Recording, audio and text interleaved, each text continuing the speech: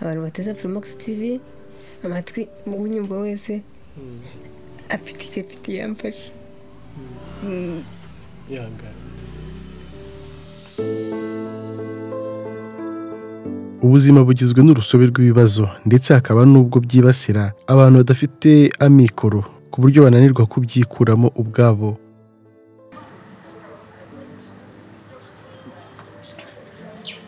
Ntabwo ari ukubabara bwo. Muri njye n'ibyishimo kuri njye ntabwo mba ndiho ntabwo mba ndiho mu by'ukuri ahantu mwasanze nabasha no kweguka muri njye numva ari ibintu bikomeye. Uyu munsi tugiye kubagezaho inkuru y'umugabo witwa Fred. Wari uri mu marembera y'ubuzima bwe ndetse abona nta gisigaye bitewe n'uburwayi afite. Papa ndagukunda. Nsabye imana ngo uzakire uduhahire twongere tujye duhage ubone n'amafaranga y'ishuri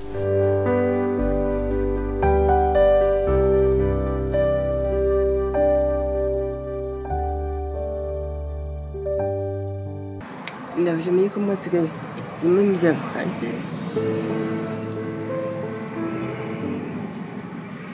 Dani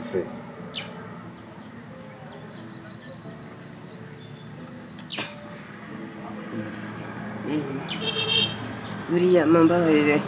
Hari igihe mba nibutse ibintu mwankoreye nkumva nishimye cyane.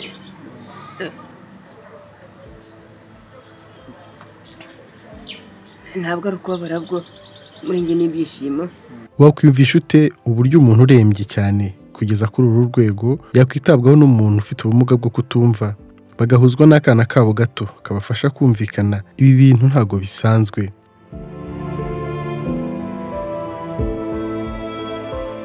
Uyu muryango twarawusuye ku nshuro ya mbere twerekezayo yari arembye bikabije. Byari biteye ubwoba cyane. Abamubonaga bose bavugaga ko arwaye agakoko gatera sida nyamara siko byari bimeze. Yaje kunsura ya- yaje kunsura meze nabi ndwaye nabasha no kuvuga nabasha no kubyuka ah, ku buryo basaze no mu buriri. Ah, niyo ba- bashoboye kumfatira intabiyu nabwo ntashobora kuvuga. Baje kujya kwa muganga barisuzumisha ngo barebe icyo arwaye. Ah, murakoze cyane. Abantu batangiye nitwa byinyire fred. Aba bombi fred ndetse n'umufasha we bari bazima igihe bahuraga bwa mbere. Fred isuku yari ameze n'umugore we nawe yari muzima afite n'itoto ry'inkumi. Nuko barahura barahuza urukundo rubona intaho. Hashize igihe bemeranya kubana bari bishimiye urukundo bafitanye. Bifuzaga kubyara abana bakagira umuryango mugari. Gusa ntibigeze bamenya icyo ubuzima bubahishiye kuko hatateye kabiri ubuzima burabahinduka. Fred atangira kugira ububabare mu ngingo ariko ntiyabyitaho.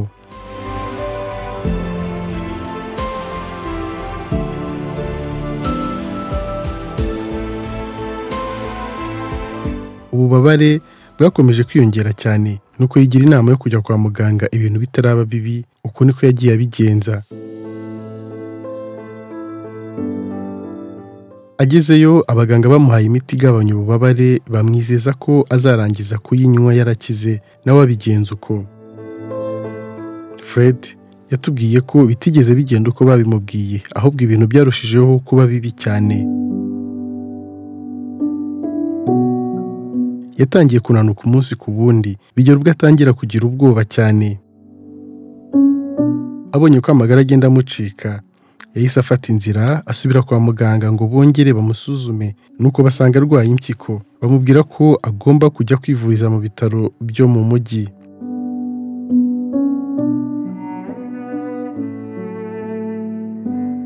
kubera ubukene bwabo babuze ubushobozi bwo kujya ku bitaro boherejweho.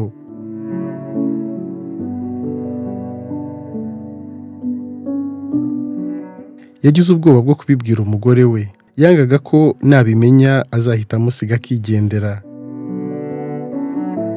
Nubwo byari bigoye ariko nta kundi byari kugenda. Uretse kubwira umugore we uko byose byamugendekeye.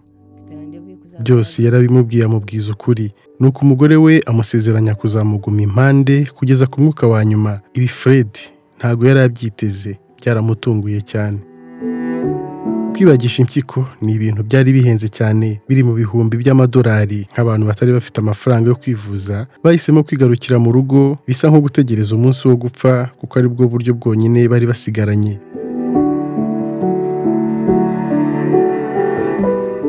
Ibi ni byo bakoze baguma mu rugo umurwayi we yakomezaga kuremba. Nyuma y'iminsi mike umugore wa fred nawe yaje gufatwa n'uburwayi. Nawe araremba. Nta bushobozi namba bari bafite bwo kwivuza. Bombi baguma mu nzu kandi twabibutsa ko umugore we ari we wari usigaye ahahira umuryango. Umugore we yakomeje kuremba ndetse atangira gupfa amatwi gake gake kugeza ubwo ataragishoboye kumva. Na gato uburyo bwonyine bwari busigaye bwo kumvikana hagati ya fred ndetse n'umufasha we n'umwana wabo w'umukobwa mukuru witwa berize ari we ubasha guhuza ikiganiro hagati y'ababyeyi be bombi. Bafite abana batatu ariko berize ni we mukuru muri bo. Bigatuma ari nawe ubafasha kuvugana. Iyo papa we avuze ikintu ni we ukibwira mama we akavugira hejuru cyane ndetse akora n'ibimenyetso. Ibi bivuze ko berize aramutse adahari kumvikana hagati yabo bombi bitashoboka. Ibi bikaba bituma bamukenera hafi yabo igihe cyose.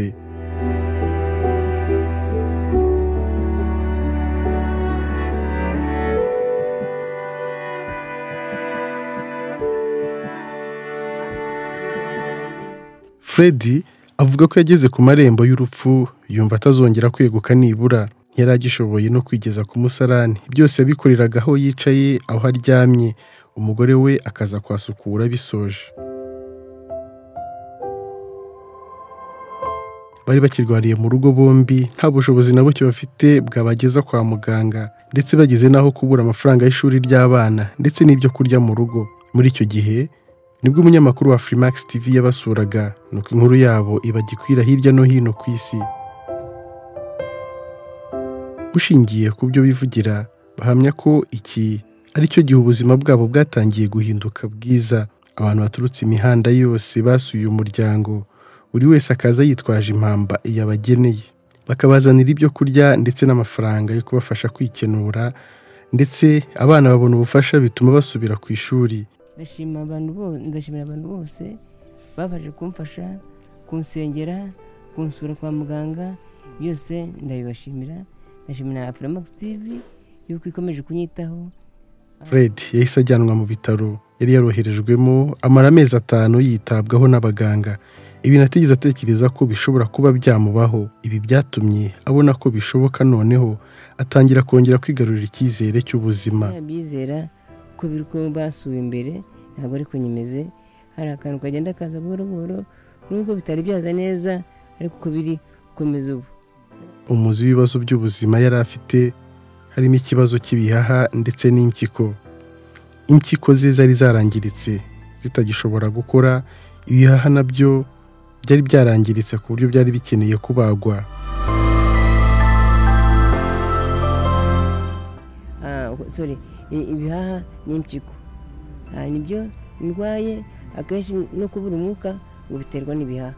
Rero ah, makumyabiri n'eshanu icyo gihe abaganga bamubwiye ko umuganga uzamuvura azaturuka hanze kandi ko bisaba gutegereza iminsi itari myinshi. Nyuma y'amezi atanu ari mu bitaro bamusubije mu rugo ngo ajye gushaka amafaranga. Kuri makumyabiri n'eshanu z'ukwa kabiri bazajya kumbaga ni bwo nzabona na muganga mvurwa na muganga wo hanze ntabwo njya mvurwa n'imbere. Ubundi ku itariki makumyabiri n'eshanu z'ukwezi kwa kabiri ni bwo agomba guhura n'uwo muganga ugomba kumubaga. Iyi tariki igomba kugera baramaze kubona amafaranga basabwa. Bataretse no gucunga neza duke bafite. Ni muri ubwo buryo bafunguye akabutike aho batuye ngo barebe ko bajya babasha kubona ibiryo ndetse n'ibindi by'ibanze. Gusa uko bari babiteguye siko byaje kugenda. Aba bombi bagomba kuba bari kumwe hano muri butiki muribuka ko umugore we afite ikibazo cyo kutumva. Ibi bituma fred ari we ugomba kumva no gusubiza abakiriya umugore nawe akabaha ibyo bintu. Barasaba abantu bose kubafasha kubona ubushobozi bwatuma bagwa. Akavurwa agakira kuko atekereza ko atazongera kubona andi mahirwe ya kabiri yo kubona undi muganga w'inzobere ndetse ko uburwayi bwe nabwo bwazaba bwarakuze kurushaho. Abashyize hamwe imana irabasanga. Twese hamwe dushobora kuvuza fred agakira akita ku muryango we bikazatuma n'umugore we abasha kwitabwaho ku burwayi bwa mugiga yagize bukamusigira ubumuga bwo kutumva. Naho ngeze ni mwebwe ndacyabasaba. Inkunga nagiye kwa muganga marayo amezi hafi atanu ni mu bitaro. Akenshi nasabye imana ngo inkureho numva nihebye. Ariko nkomeza kunsengera nkomeza kubona abantu bantera inkunga bamvuza ubufasha bwose bwo kuvuza fred bukusanyirizwa kuri nimero ye bwite ya telefone iri muri description y'iyi nkuru ndetse no hejuru muri komenti twizeye ko ku itariki makumyabiri n'eshanu z'ukwa kabiri azaba yabonye ayo mafaranga asabwa. Akamaro k'ubuzima si ukwishima gusa. Ni no gutanga umusaruro ukita ku bawe ndetse n'inshuti.